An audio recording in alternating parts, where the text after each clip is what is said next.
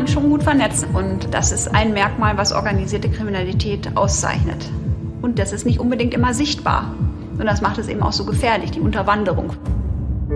Da waren wir dann nur vielleicht mit fünf, sechs Mann und da hatten die locker 50, 60 Anwälte im Raum. Es war ein Riesenraum. Da saß ein riesiges U von Anwälten und noch ein weiteres riesiges U von Anwälten stand einfach hinter jedem nochmal, stand nochmal ein Anwalt dahinter und ein weiteres U stand an der Wand, um uns einfach durch ihre schiere Präsenz so ein bisschen in Rückenlage zu bringen. Da sitzen ja top ausgebildete Leute, deren Job nichts anderes ist, als sich genau das auszudenken, auf der ganzen Welt. Deswegen wäre es naiv zu denken, ab 2012, als sich uns das System geändert hat, wir würden das nicht weitermachen. Wenn ein Modell abgestellt ist, dann überlegt man sich was anderes. Hier war schon so, dass äh, mir die Bedeutung des ersten Urteils schon sehr bewusst ist äh, und ich auch sehr erleichtert war, dass die äh, Kammer da in den wesentlichen Punkten eben auch unserer Argumentation gefolgt ist. Nicht auf den Einzelfall nur bezogen, sondern dass das eben nur ein Urteil ist von ganz vielen, die dann noch kommen. Was muss man eigentlich machen, um auf der Liste der Top 50 Personen zu stehen, die für die Weltwirtschaft von besonderer Bedeutung sind? Also, in der Liste, die das US-Medienhaus Bloomberg für 2021 veröffentlicht hat, steht zum Beispiel Andy Jassy. Der ist letztes Jahr Chef von Amazon geworden. Oder Alison Felix. Sie ist die erfolgreichste Leichtathletin bei den Olympischen Sommerspielen aller Zeiten. Oder John Nkenga Song, der hat wesentlich daran mitgearbeitet, 400 Millionen Covid-Impfdosen für Afrika zu organisieren. Und als einzige Deutsche in der Liste überhaupt Anne Brohrhilker. Sie hat sich gegen alle Widerstände mit den mächtigsten Banken, Kanzleien und Beratern angelegt. Die Kölner Staatsanwältin hat den Deutschen ihr Geld zurückgeholt und sie macht es noch, zumindest soweit es geht. Und sie zieht die in Verantwortung, die über Jahre gedacht haben, sie könnten sich aus dem deutschen Steuervermögen mehr rausholen, als sie eingezahlt haben. Sie ist die Aufklärerin des Cum-Ex-Skandals, dem Skandal, bei dem 12 Milliarden Euro nicht in der Steuerkasse gelandet sind. Sie ist die Jägerin. Ihrer Arbeit ist es zu verdanken, dass der Bundesgerichtshof Mitte vergangenen Jahres bestätigt hat, Cum-Ex-Aktiengeschäfte, bei dem sich die Akteure Steuern zweimal erstatten lassen, sind Steuerhinterziehung und damit strafbar. Über Anne Brohelker und den aktuellen Stand des Cum-Ex-Falls wollen wir heute in dieser Folge von Handelsbad Crime sprechen. Dem Podcast, bei dem wir alle zwei Wochen mit unserem Investigativteam über die größten Wirtschaftskriminalfälle in Deutschland sprechen.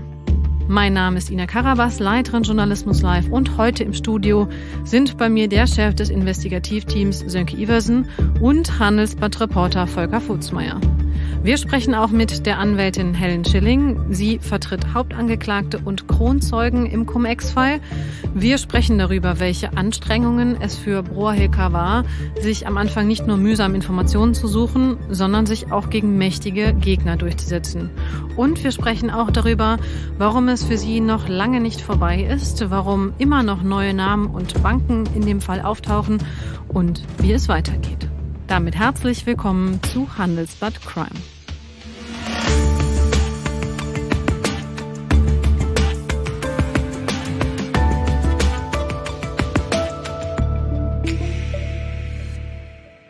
Hallo Volker, hallo Sönke.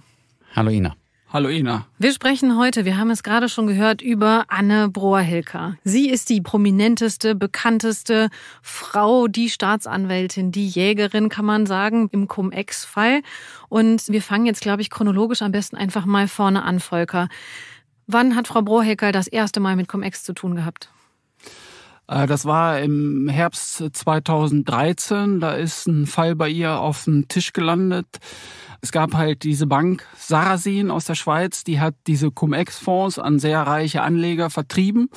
Und da gab es ab 2011 Probleme. Da gab es einen Investor, den Drogerieunternehmer Erwin Müller. Ganz kurz, bevor wir über Herrn Müller sprechen, den natürlich alle Zuhörerinnen und Zuhörer wahrscheinlich aus den Innenstädten kennen. Ne? Das sind die Müller Drogeriemärkte. Genau.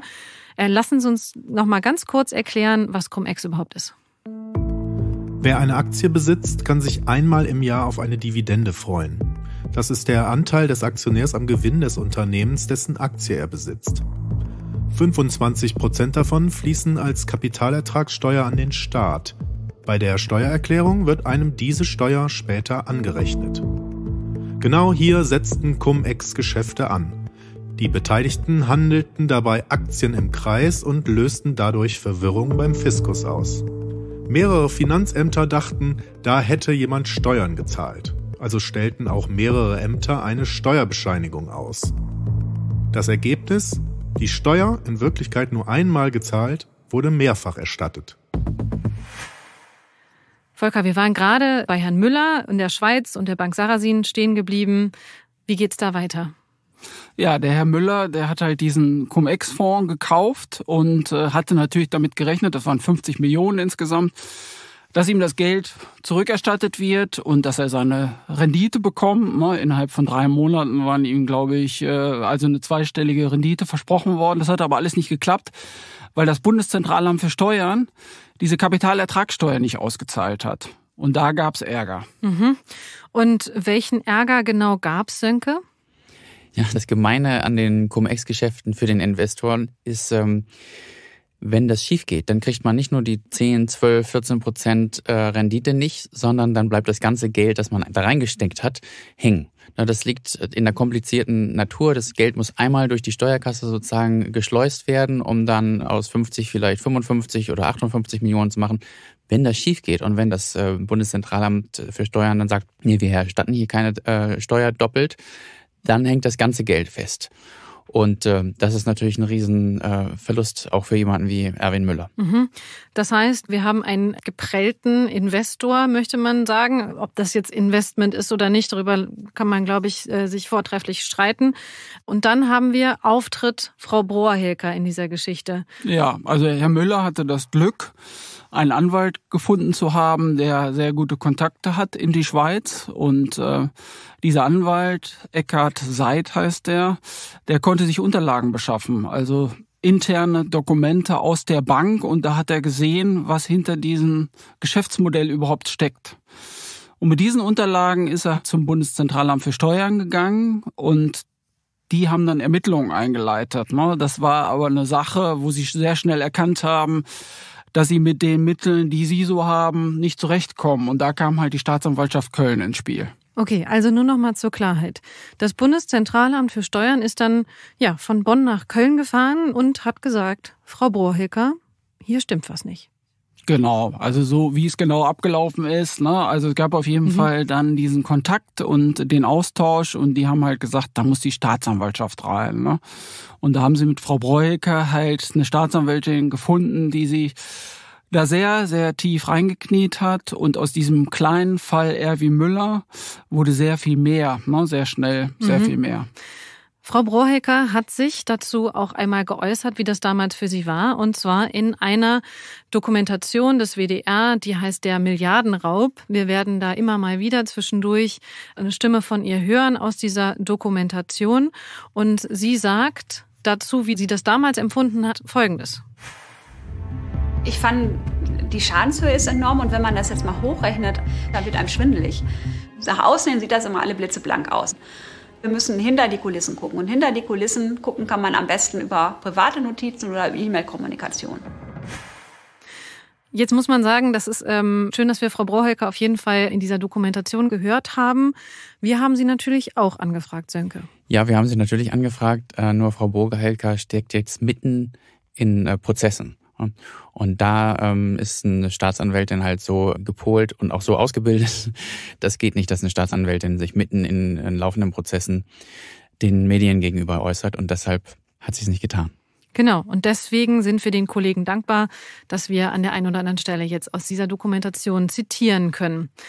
Lass uns noch mal wieder zurückkommen zu den ersten Jahren von Frau Brohecke. Also, sie saß da in ihrem Konferenzraum oder in ihrem Büro und hat auf einmal gesehen, da läuft irgendwas gewaltig schief. Da ist irgendwie, da bereichern sich viele Menschen zulasten des Staates, zulasten der Gesellschaft, muss man ja ganz klar sagen.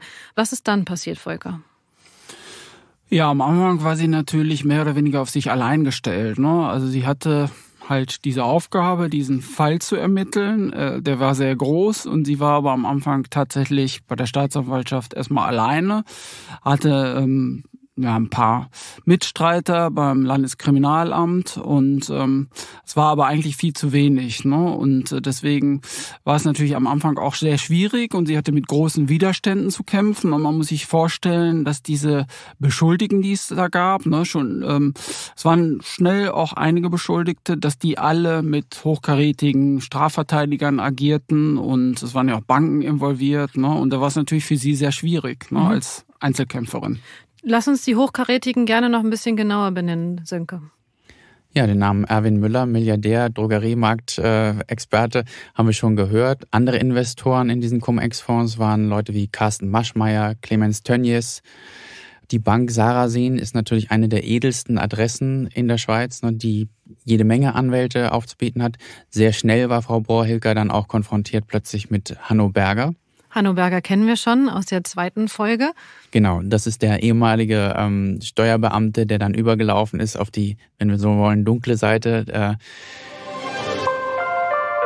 Update 24. Februar 2022. So, an dieser Stelle müssen wir einmal ganz kurz unseren eigenen Podcast unterbrechen, denn seit der Aufnahme zu dem Podcast zu einem Rohrhacker hat sich noch ein bisschen was entwickelt und darüber wollen wir kurz sprechen. Ja, lieber Sönke, es hat sich ergeben, dass Hanno Berger nach Deutschland kommt und zwar nicht ganz freiwillig. Nein, absolut unfreiwillig. Hanno Berger wollte nicht nach Deutschland kommen. Er ist geflohen ähm, vor zehn Jahren vor der Generalstaatsanwaltschaft also wer ist Hanno Berger? Der berühmte hm, Steueranwalt, sehr gefragt bei den sehr reichen Männern und Frauen dieser Welt. Und ja, 2012 kam die Generalstaatsanwaltschaft, hat seine Büros im Frankfurter Hochhaus Skyper durchsucht. Hanno Berger war damals auf der Autobahn, ist dann äh, direkt umgedreht und in die Schweiz gefahren, in, genauer gesagt ins äh, Schweizer Bergdorf Zuorz und hat von da aus äh, behauptet, die Ermittlungen gegen ihn wegen des Verdachts auf Steuerhinterziehung seien ein Skandal, ein Justizskandal. Es hätte, hätten sich da Leute verschworen. Und ähm, ja, dann ging es also hin und her und wieder zurück, Einspruch und Gesuche und immer wieder und einmal weiter. Aber zehn Jahre später, da sind wir jetzt im heute, heute Vormittag wurde Hannoberger an der Grenzstelle Kreuzlingen-Konstanz von der Schweizer Polizei dem Bundeskriminalamt überstellt und nun muss er sich hier dem deutschen Rechtsstaat stellen. Mhm. Und was passiert da jetzt als nächstes? Ja, jetzt kommt er vor Gericht. Hm? Also das ähm, dürfte sehr, oder erstmal kommt er in eine deutsche Zelle. Er saß in der Schweiz ja jetzt auch schon äh, seit einiger Zeit nicht mehr in seiner Villa, sondern in seiner Zelle. Und die tauscht er jetzt gegen die deutsche Zelle. Und ähm, auch relativ bald müsste er dann in Wiesbaden erstmal vor Gericht gestellt äh, werden wegen diverser äh, Anschuldigungen. Und wenn er damit fertig ist, kommt äh, das nächste Verfahren. So, apropos Verfahren, Sönke, gut, dass du es sagst, denn wir sprechen jetzt auch über ja die Auswirkungen eines anderen Verfahrens, was auch auf Anne Brohilker zurückgeht, denn sie hat natürlich mit ihrer Hartnäckigkeit dafür gesorgt, dass Cum-Ex jetzt auch dann tatsächlich Steuerhinterziehung und damit strafbar ist. Worum handelt es sich bei dem Fall, Sönke? Ja, es gibt ähm, weniger um Fall als, als ein Prinzip. Ne? Wie du so richtig sagst, wir haben inzwischen drei Urteile in Sachen Cum-Ex. Alle sind geendet mit Schuldsprüchen. Und ähm, in dem einen Fall, wo Einspruch äh, eingelegt wurde, hat äh, jetzt der, oder nicht jetzt, aber also auch schon eine Weile her, hat der Bundesgerichtshof gesagt, nee, Cum-Ex war illegal. Immer schon. So. Und wenn das letztinstanzlich feststeht, heißt das, dass alle Geschäfte aus oder alle Profite, alle Gelder, die mit äh, aus Cum-Ex-Geschäften stammen, praktisch schwarz sind. Ne? Und für eine Bank bedeuten Gelder, die aus illegalen Geschäften äh, kommen, dass sie die nicht haben dürfen auf ihren Konten. Und wenn sie sie doch haben, dann müssen sie sogenannte Geldwäsche-Verdachtsanzeigen äh, stellen müssen äh, gewissermaßen ihre Kunden anzeigen. Und genau das geschieht jetzt. Ne? Das, wir recherchieren ja immer weiter. Ne? Zwischen unserem Podcast wird, äh, äh, sind wir immer weiter bei der Arbeit und wir haben jetzt erfahren, dass ja, eine dreistellige Anzahl solcher Anzeigen äh, bereits gestellt worden ist. Äh, also mehr als 100 und es werden wahrscheinlich noch, noch viele dazukommen. Wir haben ja diese Liste äh, schon von vor, vor vielen Jahren äh, bekommen der Banken, die da Cum-Ex-Geschäfte gemacht haben. Die Liste umfasste 130 Namen so, jede Bank hat natürlich nicht nur einen Kunden. Da kann man sich vorstellen, wie viele Schwarzgelder da produziert wurden. Und all diese schwarzen Gelder ähm, dürfen nicht mehr auf den Konten sein. Da gibt es Vorschriften. Und ähm, Wenn die Banken das nicht täten, dann würden sie sich der Geldwäsche schuldig machen und das wollen sie natürlich nicht. Okay, also nochmal ganz kurz zusammengefasst. Das bedeutet, jeder, der damals hohe Profite mit Cum-Ex gemacht hat, wird jetzt wegen Schwarzgeld beziehungsweise die Konten werden wegen vermeintlicher Geldwäsche angezeigt.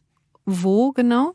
Die sind, landen jetzt alle bei der sogenannten Financial Intelligence Unit, so eine Sondereinheit des Zolls. Und ähm, die wird sich das äh, alles angucken. Und ähm, im Zweifelsfall die Gelder auch einziehen. Also, das ist jetzt, wir sind jetzt praktisch, wir haben die nächste Ebene erreicht. In der ersten Ebene wurde festgestellt, was ist Cum-Ex? Jetzt ist es festgestellt worden, es ist illegal. In der zweiten Ebene äh, ist, was ist jetzt mit den ganzen Profiten aus Cum-Ex?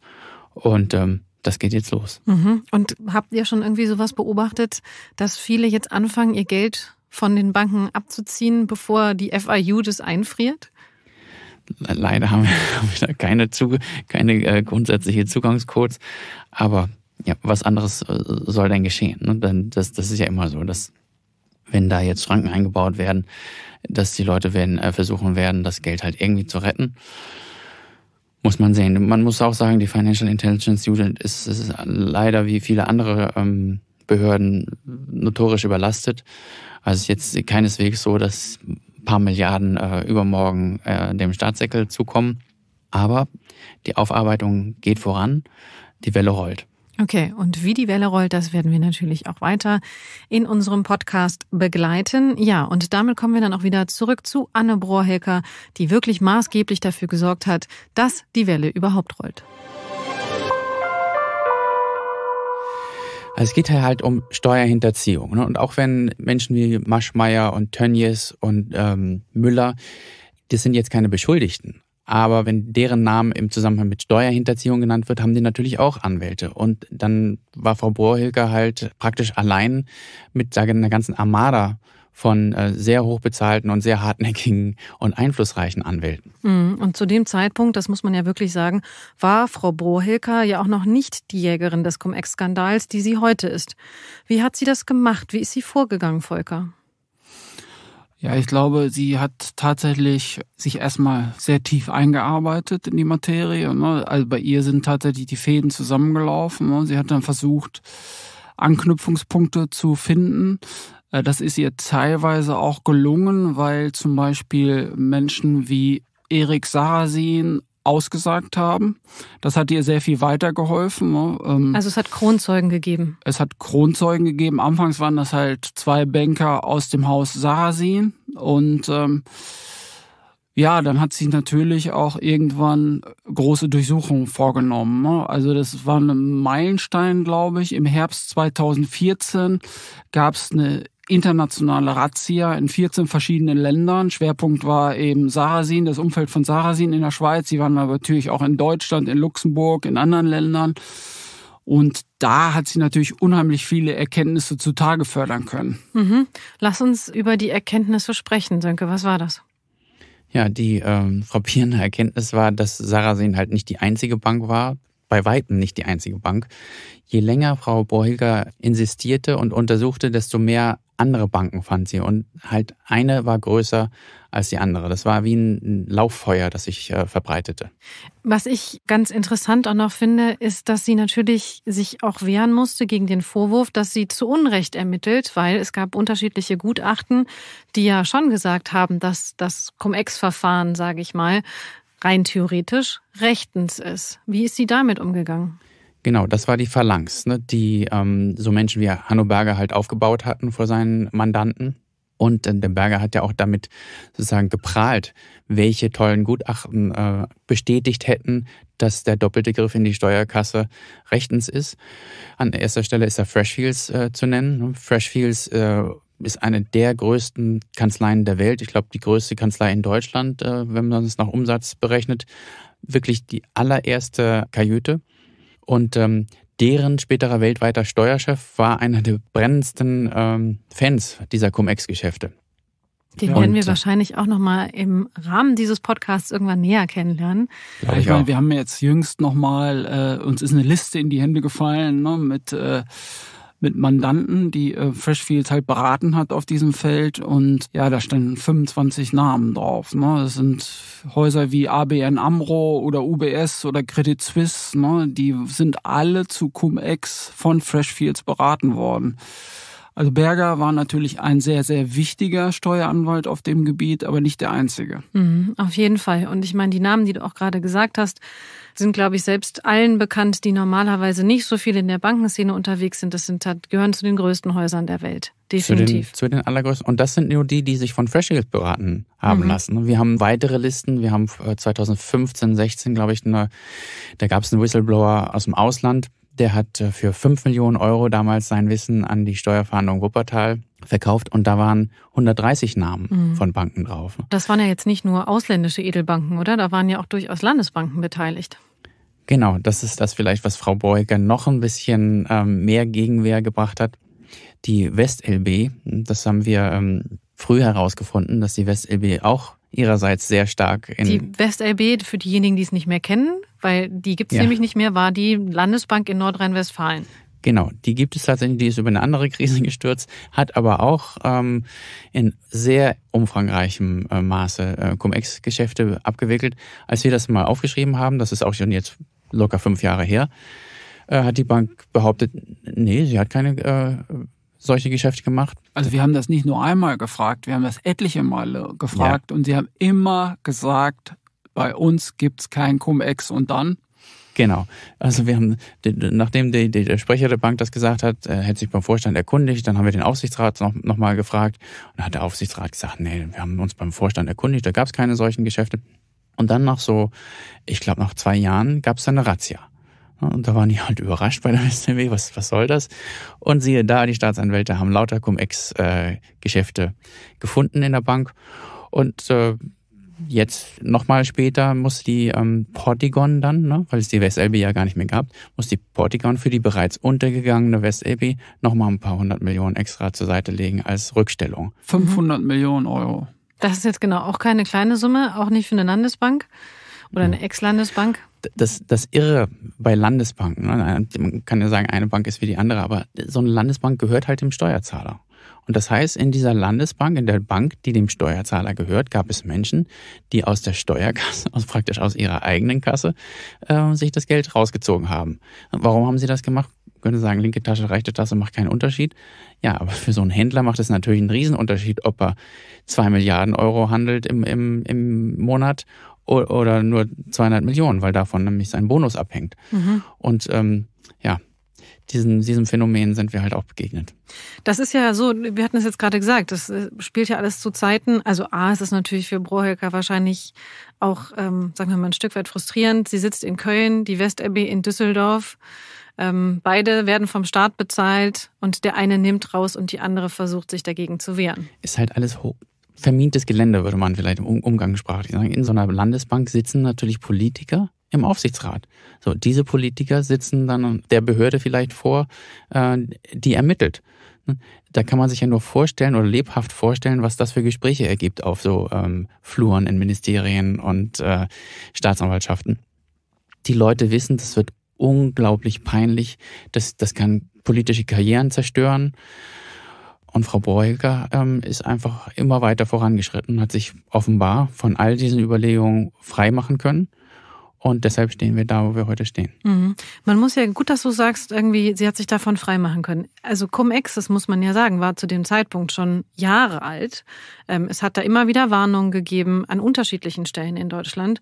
Und es hat sogar Listen gegeben, ähm, wo vermeintliche Cum-Exler oder Cum-Ex-Geschäfte drauf aufgelistet worden sind. Die sind dann in irgendwelchen Akten verschwunden.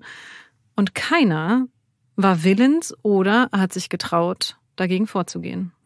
Ja, das war tatsächlich sehr lange so. Ne? Also man muss sagen, so die klassischen Cum-Ex-Geschäfte, so die Hochzeit der Cum-Ex-Geschäfte war so 2005 fing's an.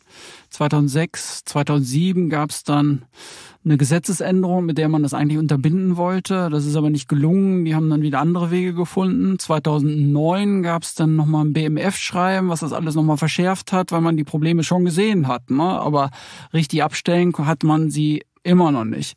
Und dann ging es 2010 weiter, 2011 ging es weiter und erst 2012 kam dann eine Gesetzesänderung, wo es sozusagen technisch unterbunden wurde. Ne? Also im Grunde all diese Jahre waren die Scheunentore für die äh, Leute, die da, manche sagen, mit der Schubkarre das Geld rausgeholt haben aus dem Finanzamt, meilenweit geöffnet. Ne? Mhm. Und äh, ja, das ist im Grunde natürlich auch ein politisches Versagen. Ne? Da mhm. kann man nicht die Augen vor verschließen. Mhm, auf jeden Fall. Und was, du hast es gerade gesagt, was das natürlich noch schwieriger macht, ähm, ist die Tatsache, dass wenn man sich jetzt darüber unterhält, Wann verjährt eigentlich ein solcher Fall? Wann sind die jetzt Angeklagten vielleicht fein raus? Dann ist das wahrscheinlich schwierig zu beurteilen, weil es eben keinen klaren Startzeitpunkt gibt, richtig? Ja, das ist wahnsinnig schwierig. Die Politik hat natürlich auch erkannt, dass das ein Wettlauf gegen die Zeit ist. Deswegen gab es auch Gesetzesänderungen und man hat die Verjährungsfristen deutlich verlängert. Also im Normalfall soll es jetzt eigentlich möglich sein, diese Fälle abzuhandeln innerhalb der Verjährungsfrist. Ne? Man muss aber die Ermittlungen irgendwann starten. Also wenn jetzt irgendwelche Taten vielleicht 2007 begonnen haben, dann muss man die Ermittlungen spätestens nach 15 Jahren starten, sonst greift die absolute Verjährung und dann kommt man da halt nicht mehr dran. Bei ausländischen Banken ist das manchmal schwierig, weil man nicht ganz genau weiß, welche Leute waren da jetzt verantwortlich. Ne? Man kennt die Organigramme nicht. Und mhm. ohne dass man irgendwelche Leute beschuldigt, kann man auch keine Ermittlungen starten. Ne? Deswegen ist das so ein bisschen die Schwierigkeit. Aber ich glaube trotzdem, dass man jetzt das Gros der Banken, die da beteiligt waren, auch erfasst hat und auch die Leute identifiziert hat, die da eventuell in verantwortlicher Position waren. Mhm. Nun muss man aber ja auch sagen, viele dieser Personen wehren sich gegen die Ermittlungen. Ja, sie sehen sich durchaus im Recht, unter anderem, weil sie sagen, es habe damals Gutachten gegeben, die diese Praxis ja durchaus als legitim angesehen haben. Und dazu hat sich Anne Brohelker auch in der WDR-Dokumentation geäußert. Die haben sich natürlich Argumentationsmuster zurechtgelegt. Die haben sich einzelne Passagen aus bestimmten Gerichtsurteilen rausgezogen, die aus dem Kontext gezogen und haben darauf ihre ganze Theorie aufgebaut. Frau Brohrhilker hat eine Armada von Anwälten und aufgebrachten Banken und Investoren gegen sich. Sie macht trotzdem weiter. Warum? Ja, weil sie ähm, erkannt hat, welche Dimension das Ganze hat, ne? weil sie die im Grunde diesen Code dieser Steuerhinterziehungsindustrie, wie sie jetzt teilweise auch genannt wird, zu entschlüsseln. Und ähm, weil sie im Grunde auch durch die Aussagen der Kronzeugen verstanden hat, wie das Ganze funktioniert. Ne? Es müssen natürlich viele Parteien zusammenarbeiten, ne? sind äh, Aktienleerverkäufer eingebunden, es sind Depotbanken eingebunden, es sind Broker eingebunden. Und das ist im Grunde wie eine gut geölte Maschinerie. Und wenn man dann nur einen Teil kennt, dann sieht man nicht, wie das ganze Ding funktioniert. Aber sie hat es erkannt halt. Ne? Durch ihre jahrelange Ermittlungen hat sie das halt aufbrechen können und diese Nuss geknackt. Mhm. Apropos, sie hat die Nuss geknackt. Ich glaube, ähm, wenn man sich Frau Brohelker und ihre Geschichte anschaut, immer wieder sieht, sie ist sehr hartnäckig. Lass uns ganz kurz vielleicht über die Person Brohelker sprechen. Was macht sie aus? Ihr habt sie beide erlebt. Ich bin mir total sicher, dass dieser Fall irgendwann von Filmemachern irgendwo auf der Welt aufgegriffen wird, vielleicht in Deutschland, vielleicht auch in Hollywood. Für den Fall, dass es in Hollywood wäre. Wer, glaubt ihr, wird Frau Brohelker spielen? Oha. Das ist eine interessante Frage. Also Frau Borhecker, wenn man sie naturgetreu nachspielen will, ist relativ zierlich und klein. Da könnte man jetzt nicht Julia Roberts nehmen. Äh, Vielleicht Jodie Foster oder so, aber die ist natürlich jetzt auch schon ein paar das falsche Jahre Alter. Also man bräuchte eine junge, zierliche Person, der man aber anmerkt, dass sie sich auch von äh, Kolossen nicht ins Boxhorn jagen lässt ja, sie lässt sich nicht beirren. Sie ist äh, unheimlich fleißig.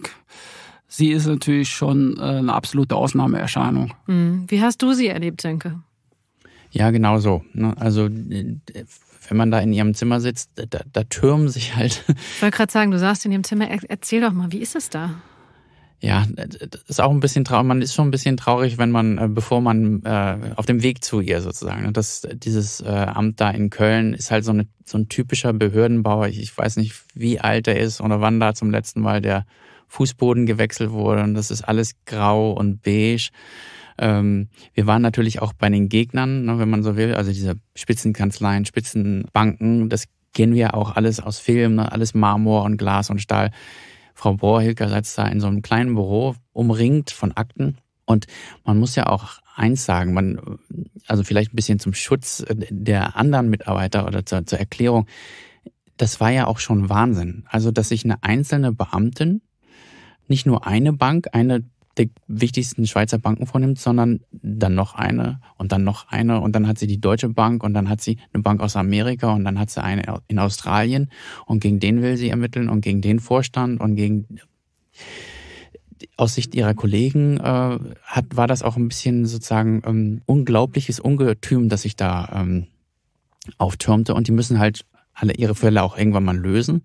Und wenn da eine, eine einzelne Beamtin dann äh, ein Dutzend Fälle nach dem anderen aufmacht, äh, ist natürlich die Frage, wo soll das denn enden? Und findet das überhaupt mal ein Ende? Mhm. Das wissen wir tatsächlich auch jetzt immer noch nicht, ob das irgendwann mal ein Ende findet. Irgendwann wird es vielleicht leider verjähren.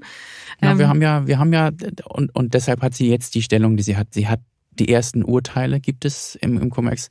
Diese Verjährung ist äh, vom Gesetzgeber sozusagen äh, deutlich ausgeweitet worden. Und jetzt haben wir das, was wir den Cum-Ex-Skandal nennen.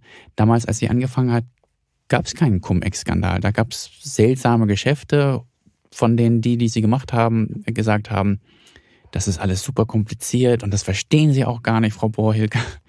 Ähm, aber gucken Sie mal, was Freshfields dazu schreibt. Und dann hat man ihr halt ein halbes Kilo Papier auf den Tisch geknallt.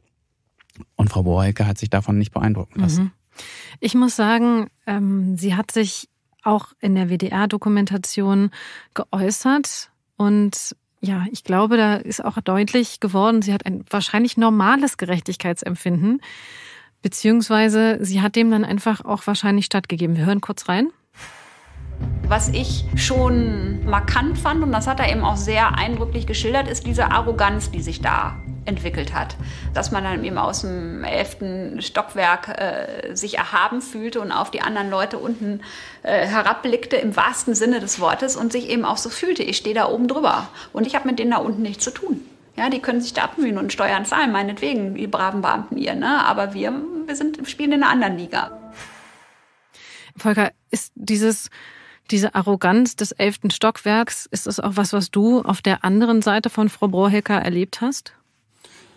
Ja, auf jeden Fall. Das ist äh, tatsächlich ein gewisses Abgehobensein, ne, was man da feststellen kann. Und äh, ich meine, dieses Cum-Ex-Thema, das ist ja relativ simpel eigentlich zu erklären. Das ne? sind Aktienkreisgeschäfte, die im Grunde nur das eine Ziel hatten, eben Kapitalertragssteuer erstatten zu lassen, die überhaupt nicht bezahlt worden ist. Ne?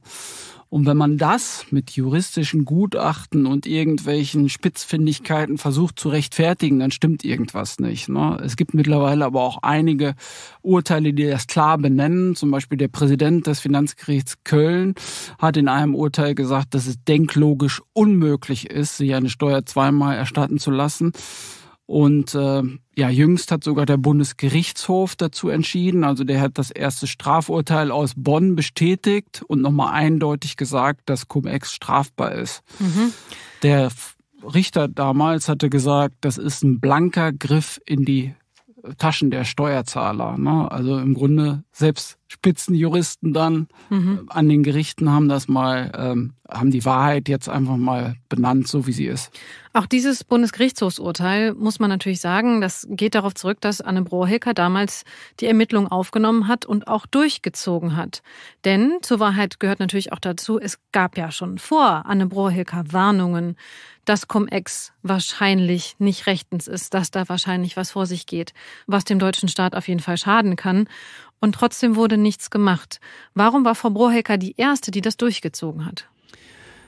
Ja, da kommen wir wieder zu ihrer Hartnäckigkeit. Ne? Die muss also wirklich äh, Abende, Nächte und Wochenenden durchgearbeitet haben.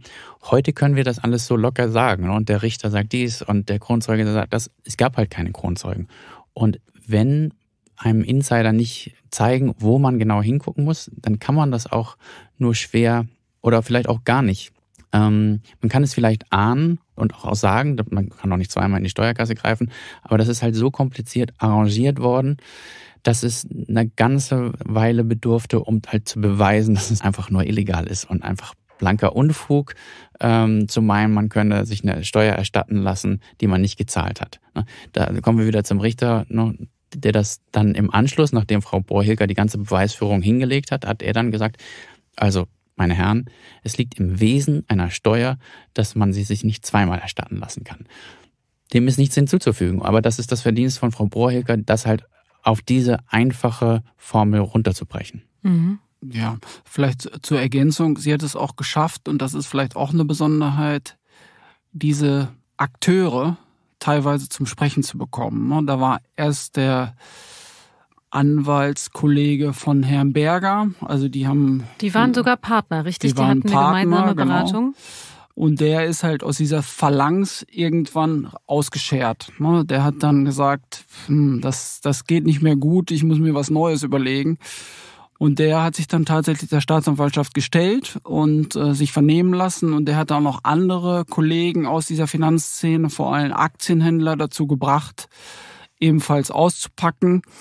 Und ähm, die haben natürlich alle sehr viel zum Verständnis beigetragen. Ne? Also ein, einer der beiden im ersten Verfahren Angeklagten, es war ein britischer Börsenhändler, der ist ungefähr 30 Mal nach Deutschland gekommen und hat sich von Frau Brauhilker vernehmen lassen. Mhm. Und der hat natürlich sehr, sehr viel dazu beigetragen, dass Frau Brauhöcker weitermachen konnte und neue Anknüpfungspunkte gefunden hat. Und jemand, der da dabei gesessen hat, bei diesen Vernehmungen, die haben wir jetzt eingeladen, mit uns zu sprechen, denn das ist Helen Schilling. Sie vertritt als Anwältin diesen und andere Kronzeugen und in dieses Gespräch hören wir jetzt mal rein. Hallo, Frau Schilling. Hallo, Frau Karabach. Sie haben als Verteidigerin eines angeklagten Aktienhändlers und äh, Kronzeugen natürlich auch Frau Brohrheker bei zahlreichen Vernehmungen und auch im Strafprozess erlebt. Wie, wie haben Sie sie erlebt? Was zeichnet sie aus? Also ich würde sagen, was sie auszeichnet, ähm, sie ist tief in der Sache und tief auch an der Sache interessiert. Im Vordergrund ähm, für sie stehen jedenfalls zunächst immer die fraglichen Geschäfte und äh, die zugrunde liegenden Transaktionsmechanismen. Und die will sie tatsächlich im Detail ähm, verstehen und nachvollziehen können. Also deren Ablauf, die wirtschaftliche Bedeutung, die steuerlichen Konsequenzen und so weiter. Und erst in einem zweiten Schritt ist mein Eindruck, kommen dann die handelnden Akteure in den Blick, äh, die Persönlichkeiten, ihre subjektiven Standpunkte und Eigenschaften. So habe ich sie erlebt. Und ähm, ich glaube, das ist auch nicht immer selbstverständlich. Es geht ihr nach meinem Eindruck allein um die Sache und nicht etwa um sich selbst. Mhm. Ähm, das ist ja, das klingt ja auf jeden Fall ähm, schon ganz sympathisch, äh, so wie Sie das beschreiben. Jetzt hat es Frau Brohecker jetzt auch nicht immer ganz einfach gehabt, ganz am Anfang. Ähm, da waren ihr am Anfang durchaus einige Steine in den Weg gelegt. Wie ist es ihr denn eigentlich gelungen, die Ermittlungen so weit voranzutreiben? Also eine wichtige Rolle spielen, denke ich, jedenfalls ab einem bestimmten Zeitpunkt sicherlich diese sogenannten Kronzeugen. Ähm, wenn man sich aber die Ermittlungsakten anschaut, dann sieht man, dass auch schon bis zu den ersten Vernehmungen die Ermittlungsbehörden sehr weit gekommen sind unter ihrer Führung und äh, aber das da seinerzeit äh, mit einem relativ kleinen Team. Und ähm, ich habe auch die mit der Sache befassten Ermittlungsbeamten im Landeskriminalamt ähm, als sehr kompetent erlebt und äh, meine, dass dann auf dieser Grundlage es möglich wurde, für sie in den Vernehmungen sehr souverän, also gleichsam auf Augenhöhe aufzutreten, die richtigen Fragen zu stellen, an bestimmten Punkten nachzuhaken, ähm, zugleich habe ich sie aber auch immer als äh, transparent ähm, erlebt mit ihren Erkenntnissen und auch mit ihren Bewertungen. Die muss man nicht immer teilen, aber damit geht sie offen um. Und ähm, es gibt mit ihr, wenn ich das so sagen darf, ähm, keine Spielchen. Sie sagt, was sie hat, was sie denkt und darauf kann man sich einstellen. Hm, sie haben jetzt gerade die Erkenntnisse von Frau Brohilker angesprochen. Jetzt muss man ja sagen, dass Ihre Mittel, also die Mittel der Staatsanwaltschaft im Vergleich zu denen der beteiligten Banken und Beschuldigten eher begrenzt ist. Wie schafft es denn eigentlich Frau Brohrhelker, sich dagegen durchzusetzen und sich die Informationen zu besorgen, die sie benötigt? Ja, das ist ein wichtiger Punkt. Also wir als Anwälte, als Berater, als Verteidiger haben natürlich immer den Vorteil, ähm, dass wir mit unseren Mandanten sprechen können ähm, und die Dinge so lange erörtern können, bis wir es verstanden haben, um es weiter transportieren zu können. Und auch in finanzieller Hinsicht merkt das natürlich stimmen, dass die Ermittlungsbehörden da ich sag mal salopp, äh, hinten dranhängen. Aber man darf natürlich auch nicht vergessen, sie hat äh, sozusagen die Macht. Äh, sie hat, äh, um es etwas vornehmer zu sagen, Ermittlungskompetenzen. Und ich glaube, das im Zusammenspiel mit einem profunden Wissen und mittlerweile auch äh, ordentlich politischem Druck und Rückenwind, jetzt zuletzt durch die Entscheidung vom Bundesgerichtshof, ist das, glaube ich, auch aus ihrer Sicht keine ganz schwache Position. Mhm. Apropos ähm, schwache Position, ähm, finde ich ganz interessant. Sie ist ja auch mittlerweile, ähm, äh, Frau Brohöcker ist mittlerweile in einer Liste von Bloomberg zu den 50 einflussreichsten Personen 2021 gewählt worden. Es gibt eine ähm, WDR-Dokumentation, wo sie im Mittelpunkt steht. Damit hat sie natürlich, sagen wir mal, eine relativ exponierte Position. Wie ist das aus Ihrer Perspektive? Glauben Sie, dass die Aufklärung ähm, der Taten von Cum-Ex in diesem Umfang auch ohne Frau Brohr-Hilker gelungen wäre? Ich glaube, das kann ich so nicht sagen. Aber sie hat sicherlich ähm, einen nicht unerheblichen Anteil an der gegenwärtigen Situation. Sie hat sich ähm, da reingebissen und äh, hat das konsequent vorangetrieben und äh, das trägt jetzt ähm, seine Früchte aus Sicht äh, der Ermittlungsbehörden. Das kann man, glaube ich, sagen. Frau Schelling, was glauben Sie eigentlich, wie lange Sie noch mit Frau Brohecker zu tun haben werden? Kann ich natürlich nicht wissen, aber ich glaube, das wird uns schon noch ähm, einige Jahre beschäftigen, dieses Thema. Und wir beraten Mandanten jedenfalls nicht dahingehend, äh, dass das kurzfristig vorüberziehen wird. Vielen herzlichen Dank, Frau Schilling. Sehr gerne. Ja, wir haben es gerade gehört, der Fall Cum-Ex geht weiter, noch einige Jahre. Lass uns kurz drüber sprechen, wo steht Frau Broheker jetzt und was passiert da gerade noch? Ja, wir haben ähm, ein Verfahren was komplett abgeschlossen ist. Also haben wir gerade darüber gesprochen. Ähm, das hat das Landgericht Bonn hat das Urteil gegen die beiden Börsenhändler gesprochen und das wurde bestätigt vom Bundesgerichtshof. Ein zweites Verfahren ist ebenfalls abgeschlossen ähm, gegen einen ehemaligen Topmanager aus der Warburg Bank. Der hat äh, fünfeinhalb Jahre Haft bekommen. Das Urteil ist aber noch nicht rechtskräftig. Dann gibt's gerade ein drittes Verfahren gegen den ehemaligen ähm, Chef der Warburg Invest, das ist eine Tochter der Warburg Bank. Der hatte gerade ein Teilgeständnis abgelegt. Das wird wahrscheinlich bald abgeschlossen sein. Dann gibt es noch ein, zwei, drei andere Verfahren, die demnächst laufen dürften. Und dann gibt es natürlich auch noch wahnsinnig viele Ermittlungsverfahren. Ja, mhm. da mit wahnsinnig viel ist tatsächlich eine extrem hohe Zahl. Allein Frau Bohrhilker, allein in Köln sind 120 Verfahren anhängig. Ähm, in Frankfurt gibt's welche. Aber die verhandelt sie nicht alle alleine, oder?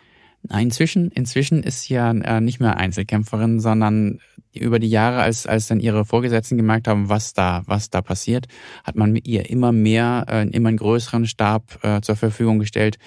Das sind inzwischen über 100 Personen. Und ähm, deshalb ist auch zu hoffen, dass sich die Geschwindigkeit dieser Verfahren ähm, steigert und alles andere wäre auch komisch, weil wenn die ersten Verfahren alle mit äh, Urteilen ausgehen und die Rechtsmeinung halt so ist und auch die anderen Angeklagten sehen, ich komme hier nicht raus äh, und wenn ich äh, mich wehre, wird es eher schlechter, dann wird die Strafe eher höher.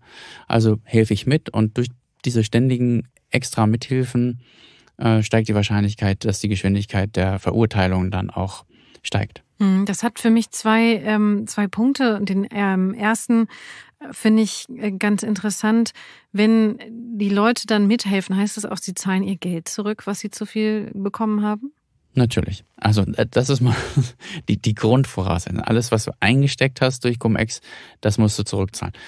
Deine Bank, also dein Arbeitgeber, muss in der Regel nochmal obendrauf Zahlungen leisten. Also, und wir sprechen hier von immer mindestens achtstelligen Beträgen, teils neunstelligen. Das heißt, da, da fließen sehr viele Gelder zurück. Es kann niemand sagen, okay, Entschuldigung, ich habe es gemacht, aber die 12 Millionen, die ich damit verdient habe, kann ich dann doch behalten, wenn ich Entschuldigung sage. Ne? So läuft es nicht. Sehr gut. Und diejenigen, ähm, die dann Entschuldigung sagen würden, wollen, da habe ich auch viel drüber gelesen, dass Frau Brohelker von vornherein gesagt hat, und vielleicht macht sie das auch aus, dass sie gesagt hat, ich gehe keine Deals mit euch ein. Ihr habt in, das also unberechtigterweise in die Staatskasse gegriffen und wir machen hier keine Deals mit sowas. Ja, das ist so ein bisschen auch ein Unterschied zu dem, was man oft vorher gesehen hat. Ne? Also wenn man diese ganze Schwarzgeldaffäre ähm, betrachtet, äh, Schweizer Banken ja auch involviert waren, da gab es auch immer Ermittlungsverfahren gegen natürliche Personen. Aber diese Ermittlungsverfahren, die wurden dann eingestellt. Die UBS hat dann 300 Millionen gezahlt, Credit Suisse hat 100 Millionen gezahlt, äh, Julius Bär hat 50 Millionen gezahlt. Ne? Damit war das Thema gegessen. Das war im Grunde, ihr zahlt Geld und wir halten die Klappe. Ne? Und so funktioniert das jetzt nicht mehr. Also jetzt geht es auch tatsächlich darum, die Schuldigen vor Gericht zu stellen. Ne? Also das ist, glaube ich, Frau Breuhecker sehr wichtig. Ne? Also es wird bestimmt jetzt nicht jeder dieser 1350 Beschuldigten auf der Anklagebank Platz nehmen müssen. Ne? Also das muss man dann natürlich nochmal sehen, ob dieser Anfangsverdacht sich auch bestätigt und ob er dann reicht für eine Anklage.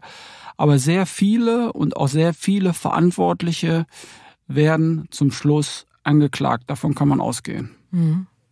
Jetzt fand ich es ja auch ganz interessant, ähm, dass ja tatsächlich ja wohl einige vorher gesagt haben, es ist ihnen klar, dass das Geld, was sie aus dem Steuerhaushalt rausnehmen, nicht mehr in Kindergärten investiert werden können. Und es war ihnen egal. Wir hatten an anderer Stelle schon mal drüber gesprochen. Habt ihr das Gefühl, dass den Beschuldigten jetzt klar ist mittlerweile? Wir hatten eben über die Arroganz gesprochen, was sie da eigentlich getan haben. Ich glaube, es war ihnen immer klar. Sie sind jetzt halt erwischt worden und jetzt steht auch die Bestrafung an und deshalb werden halt ähm, vielleicht auch Krokodilstränen vergossen. Niemand in diesem Verfahren, also niemand von den Beschuldigten jedenfalls, kann sagen, ich wusste nicht, was passiert. Ne? die Frage ist bei den Investoren. Es gibt Investoren, die sagen, mein Bankberater hat mir gesagt, hier drei Monate, ähm, zwölf Prozent, also in drei Monaten äh, erwirtschaften wir hier zwölf Prozent Rendite, alles super. Und dann fragt man ja nicht, lieber Bankberater, ist das legal, ne, sondern man sagt, super, machen. Ne? Und wenn man dann nachher erfährt, war illegal, dann ist man böse. Da ist auch die Frage, ob man jedem Investor das glauben kann. Ne? Es gab natürlich auch Investoren, die, wenn die 50 Millionen oder noch mehr äh, investieren, sich ganz, ganz genauer informieren ließen und oder ihre zusätzlichen Berater ne, und, und Anwälte da drüber gucken lassen. Und ob man dann immer noch sagen kann, ich wusste nicht, dass das aus der Steuerkasse kommt, ist eine andere Frage. Aber du fragtest ja, wussten die oder wissen die jetzt, was sie gemacht haben? Und die Frage ist ja, aber sie wussten es vorher auch und deshalb müssen sie auf die Anklagebank. Okay, sehr ja. gut. Aber es gibt natürlich auch unterschiedliche Verteidigungsstrategien, muss man auch sagen. Ne? Es gibt auch Banker, zum Beispiel den langjährigen Warburg-Chef äh, Christian Olearius, der behauptet nach wie vor ähm, nicht illegal gehandelt zu haben und äh, der wehrt sich gegen alle Vorwürfe, auch wenn er sehr wahrscheinlich angeklagt werden wird. Mhm. Christian Olearius ist ein sehr guter Punkt, denn äh, lass uns kurz drüber sprechen. Volker, warum ist der so spannend? Ja, weil die Hamburger Bank MM Warburg natürlich eine der Banken war, die da äh, ganz eifrig mitgemischt hat bei Cum-Ex. Ne? Und da geht's auch um mehrere hundert Millionen Euro. Und äh, da geht's um ja, Strafverfahren, die laufen gegen bestimmte Personen. Es geht um Führungspersonal, Christian Oliarius, Max Warburg, die da beschuldigt sind. Es geht um politische Verflechtungen. Also es ist natürlich eine Institution in, in Hamburg gewesen und da gibt es natürlich politische Verbindungen, die man hat versucht zu nutzen, als es darum ging, müssen wir das Geld zurückzahlen oder nicht. Politische Verbindungen? Ja. Zu einer ganz besonderen Person. Ja, da kommen wir dann ähm, tatsächlich bis rauf zum Bundeskanzler. Ne? Ähm, Olaf Scholz war damals, als Christian Olearius mit ihm sprechen wollte um, über die Cum-Ex-Geschäfte, war er äh, der erste Bürgermeister von Hamburg. Später dann Finanzminister, heute Bundeskanzler und ähm, es gab mehrere Gespräche, das ist verbürgt. Es gab äh, einen sehr engen Mitarbeiter von äh, Herrn Scholz, der äh, Sachen eingefädelt hat und da liefen halt im Hintergrund alle möglichen Sachen. Und es ist so, dass unser heutiger Bundeskanzler sich da nicht so richtig mehr dran erinnern kann, sagt er jedenfalls. Dazu gibt es einen Untersuchungsausschuss in, in Hamburg. Ähm, Der läuft noch, da hat Frau Brohecker auch ausgesagt. Genau, ne? und so ist es halt, das ist halt, das ist nicht, nicht lustig, um Gottes Willen, aber es ist halt diese Szene, wenn man das so will, diese Gruppe von Leuten, die Investoren, die Politiker, die Staatsanwälte, die Anwälte, die treffen sich jetzt halt in, mal in diesem Gerichtssaal, mal in jedem Verfahren, mal hier, mal da.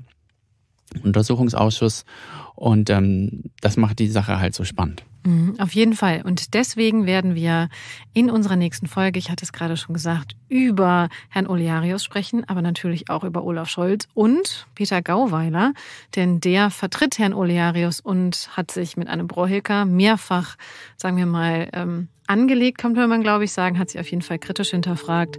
All das werden wir in der nächsten Folge von Handelsbad Crime besprechen. Vielen Dank euch beiden erstmal. Sehr gerne. Danke dir.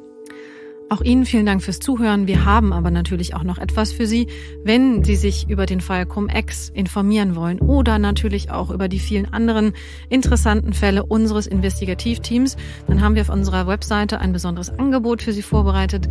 Geben Sie dazu gerne einfach handelsblatt.com-mehr Journalismus ein. Dort haben wir ein besonderes Angebot für Sie vorbereitet. Wir freuen uns wie immer über Anregungen und Kommentare. Schicken Sie dazu gerne eine E-Mail an crime@ handelsblatt.com und wir freuen uns natürlich auch über eine Bewertung auf der Podcast-Plattform Ihres Vertrauens. Ja, und auch vielen Dank natürlich an unser Produzententeam rund um Christian Heinemann und Florian Högerle und damit vielen Dank, liebe Zuhörerinnen und liebe Zuhörer und bis zum nächsten Mal.